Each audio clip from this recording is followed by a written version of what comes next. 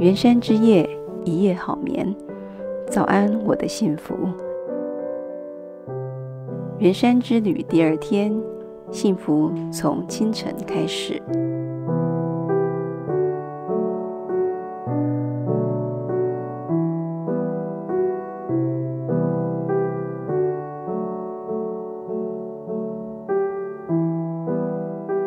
圆山享振兴方案五千抵用券还剩一千元，今日早餐就选择在松鹤餐厅用餐。从大红圆柱与宫廷吊灯的氛围下进入，仿佛走入宫廷剧的场景中。入口墙面巨大的松鹤图，气势雄伟，忍不住要多看它几眼。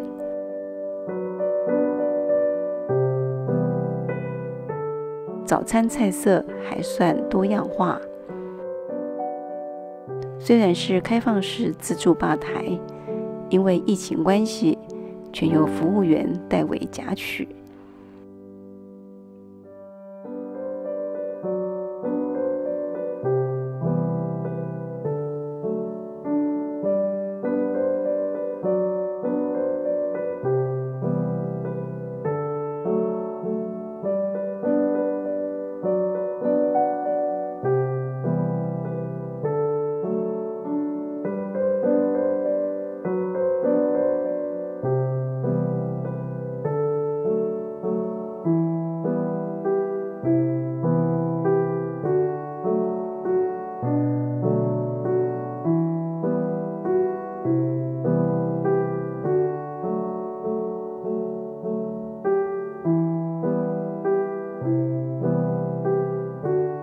用餐区设在圆形屏风后方，座位区非常多。还好，用早餐的人数并不多，气氛宁静、悠闲舒适。用咖啡结束悠闲的早餐时光。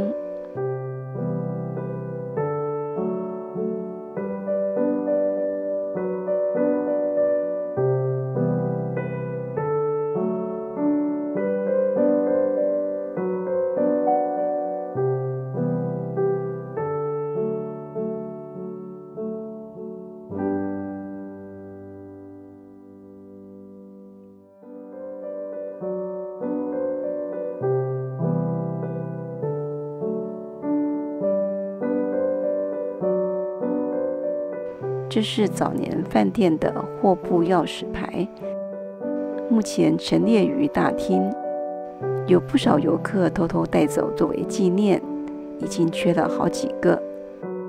后来饭店房门已改用 IC 卡了。东密道全长六十七公尺，一路向下延伸，总共有八十四个阶梯，四十三盏防爆灯。弯曲的坑道是为了避免追兵和子弹。密道上方是德国工程师设计的防爆鹰锥，可以减弱爆炸巨响，真是开眼界了。山穷水尽疑无路，柳暗花明又一村。出了东密道后。就是圆山秘密花园与孔二小姐故居。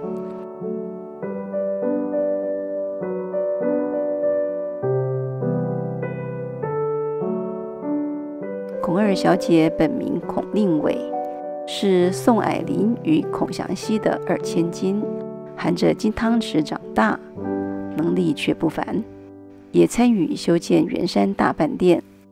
孔二小姐故居室内空间不大。一进门是蒋中正与宋美龄坐过的龙凤椅，以及极珍贵的花梨木屏风，雕工精细，叹为观止。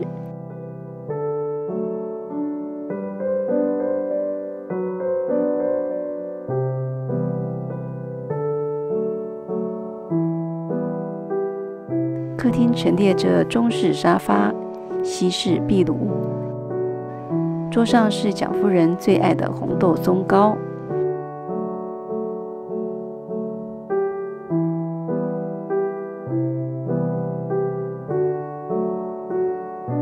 书房里展示她的手写账本还陈列她的猎枪。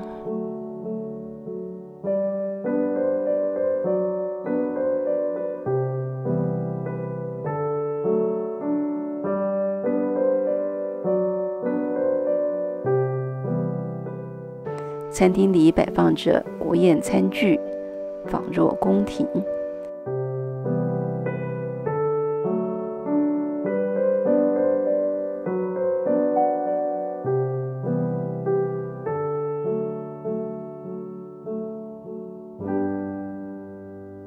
导览已告尾声，最后以接待贵宾的方式搭乘接驳车。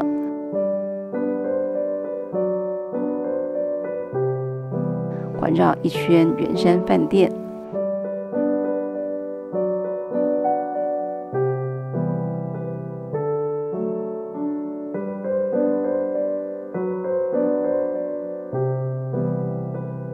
此行因为圆山推出的东密道与住宿特惠方案，亲身体验气派堂皇的宫廷建筑，享受奢华的牛排大餐。悠闲远眺台北夜景，人生几何？譬如朝露，去日苦多。能把幸福握在手里，是多么珍贵的事。云山饭店一破二十，圆了一场年轻时的梦想，即知即行，很棒的逐梦充电小旅，推荐给爱带玩的朋友们。